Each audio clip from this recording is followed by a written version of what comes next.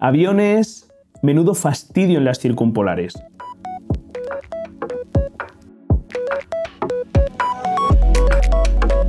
Huecos en las trazas y ese efecto suavizado que tanto nos gusta. Pues todo esto tiene solución con Nebul. Mi nombre es Luis Miguel Azorín y te doy la bienvenida una semana más a Natural Portraits, el canal de YouTube dedicado a la naturaleza y la fotografía natural en el sentido más amplio que podríamos imaginar. Esta semana le damos otra vuelta de rosca a el software de procesado de fotografía nocturna por excelencia del que ya te he hablado en otros vídeos.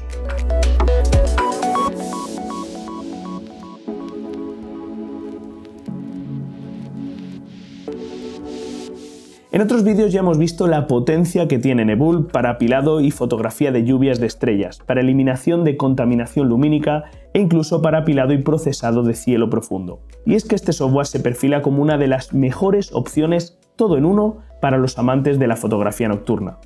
Te recuerdo que a través del enlace que tienes en la descripción y en el primer comentario puedes solicitar tu licencia de prueba de este software. Y por cierto, Hablando de fotografía nocturna, aprovecho para recordarte que si quieres profundizar en la fotografía de la noche, iluminaciones, efectos de luz, vías lácteas y por supuesto circumpolares, dentro de la Academia Natural Portraits tienes a tu disposición el curso Fotografía Nocturna, en el que a lo largo de más de 6 horas de formación aprenderás todo esto y mucho más. Pero hoy vamos a centrarnos solo en circumpolares y vamos a ver la potencia de Nebul en este tipo de procesados. Vamos al ordenador. Entonces, ¿cómo conseguimos montar una circumpolar con Nebulb? Pues como todo con Nebul resulta sencillísimo y como siempre que abrimos Nebul lo primero que vamos a hacer es crear un nuevo proyecto en archivo nuevo proyecto ya tenemos el nuevo proyecto creado. Lo siguiente que vamos a hacer es cargar las imágenes. En este caso yo voy a cargar unas imágenes que tengo por aquí de una sesión de timelapse que realicé en una de mis últimas salidas astrofotográficas. Básicamente la cámara estaba apuntando al equipo que estaba traqueando el cielo. Hasta aquí.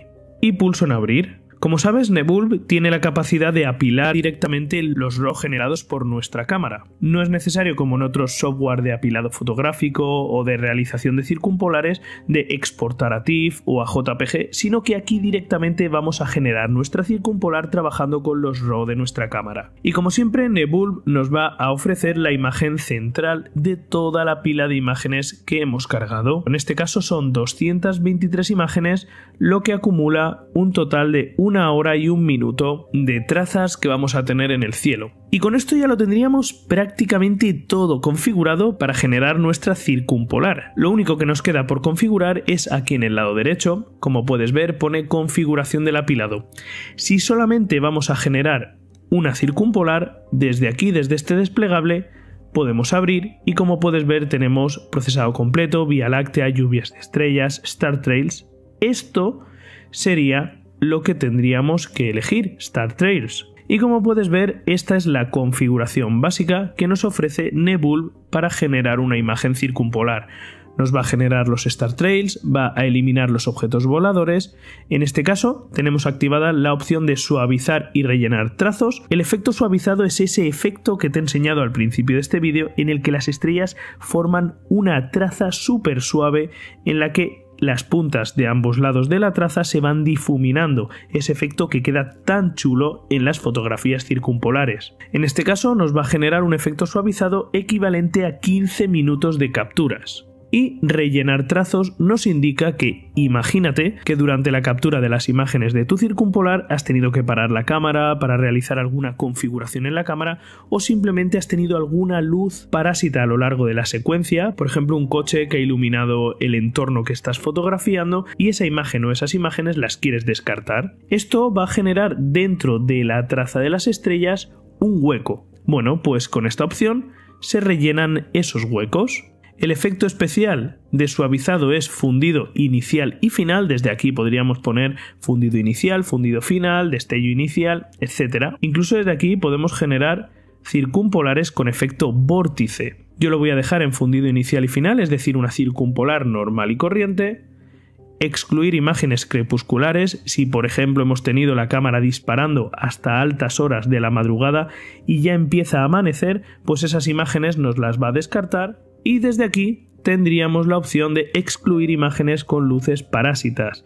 Es decir, si se nos ha colado, pues eso, una iluminación de un vehículo sobre el entorno que estamos fotografiando o algo por el estilo, desde aquí podríamos activar esta opción o dejarla desactivada como nosotros queramos.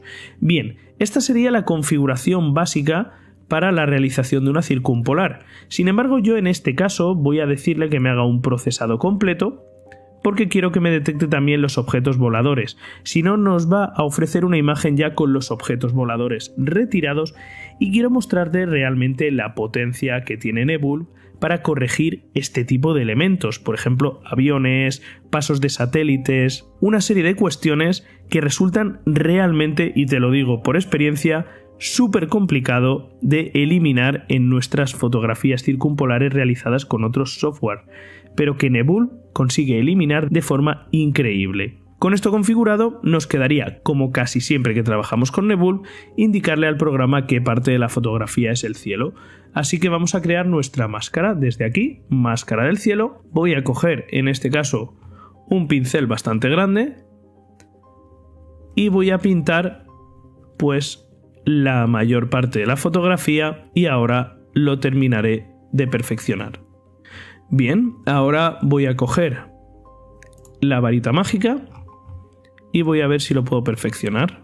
Como el equipo que está aquí en primer plano está ligeramente desenfocado, el efecto fue adrede porque lo que quería era que se mostrasen las estrellas enfocadas y el equipo en primer plano estuviese ligeramente desenfocado porque esta secuencia de capturas se hizo para un timelapse. Pues en este caso, la varita mágica no termina de trabajar tan fina como en otros casos, pero aún así, si te fijas, sí que va cogiendo más o menos por donde debe ir. A veces se equivoca un poco, como aquí. Bueno, pues lo corregimos y ya está.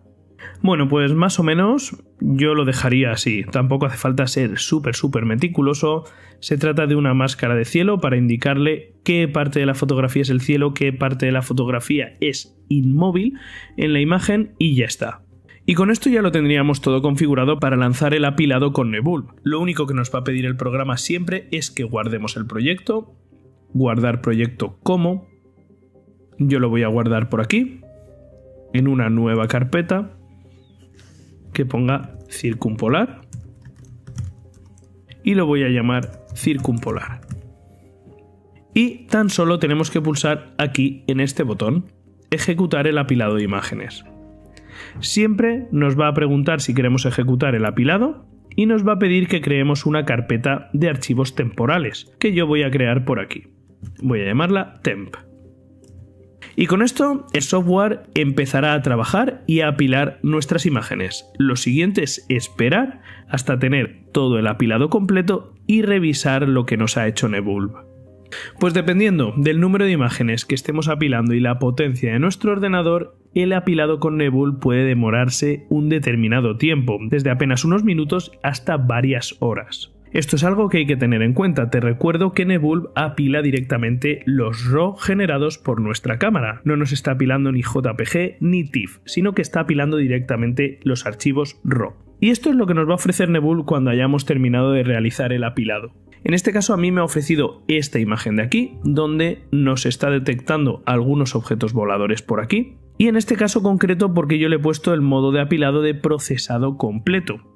Sin embargo, si tú has puesto el de Star Trails, directamente te habrá ofrecido algo parecido a esto. Y fíjate qué imagen tan chula. Tenemos ese efecto de trazas suavizadas, que es lo que estábamos buscando con ese fundido inicial y final. Y de momento esta es la imagen tal cual, sin tocar nada más. La imagen apilada sin tocar nada más. Sin embargo, voy a enseñarte otra cosa. Voy a venirme por aquí porque quiero enseñarte lo siguiente. Fíjate lo que tenemos aquí. Y podemos considerarnos afortunados. Esto de aquí, esta traza es un avión. Esto corregirlo una vez que tenemos la circumpolar realizada es muy complicado. En algunos casos podemos encontrarnos con fotografías con una grandísima cantidad de trazas por aviones o por satélites. Te hablo de trazas realmente muy marcadas y muy visibles que son muy difíciles de corregir durante el procesado. Y Nebulb tiene la capacidad de corregirnos esto de una forma increíblemente sencilla y rápida. Y es que como puedes ver, directamente, si nos vamos al resultado que nos ha dado, es que ya tenemos la fotografía prácticamente terminada. Vale, esta quizás no era la mejor fotografía para realizar una circumpolar porque lo primero, fíjate el equipo, está totalmente desenfocado no solamente por el desenfoque que ya presentaba inicialmente, sino porque además el equipo se ha estado moviendo. Esto es una montura Star Tracker y ha estado traqueando el cielo. Además por aquí tenemos pues la correa de la cámara que estaba colgando, que también se estaba moviendo, ha producido por aquí un pequeño reflejo, pero ahora piensa en la potencia de este efecto con estos acabados en una fotografía realmente pensada para la realización de una circumpolar.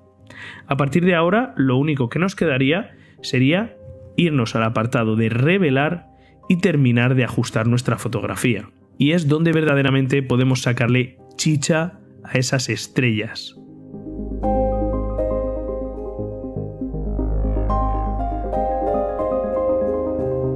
Y es que esta es otra de las cosas donde Nebul destaca y donde verdaderamente podemos ver la potencia de apilar directamente sobre los RAW. Y es que fíjate cómo Nebul tiene la capacidad de sacarnos los colores de las estrellas. Trabajando aquí sobre el deslizador de saturación, fíjate cómo las estrellas que son azules se muestran azules, las que son rojas o anaranjadas se muestran rojas o anaranjadas, verdaderamente es una barbaridad. Voy a desactivar los objetos voladores para que no molesten, ahí está, y fíjate cómo se aprecian perfectamente los colores de las estrellas. Algo que nuevamente conseguir con esta naturalidad y con este nivel de detalle con otros programas de apilados de circumpolares es muy complicado. No me cabe duda de que Nebul es posiblemente el software que mejor apila y procesa las circumpolares del mercado, ofreciendo un resultado que marca una diferencia importante respecto a lo que podríamos conseguir con otros software. Recuerda solicitar tu licencia de prueba a través del enlace que tienes en la descripción o en el primer comentario de este vídeo. Y con esto me despido, espero que hayas disfrutado de este vídeo y nos vemos la próxima semana con lo que más nos gusta, fotografía y naturaleza, aquí en Natural Portraits. Adiós.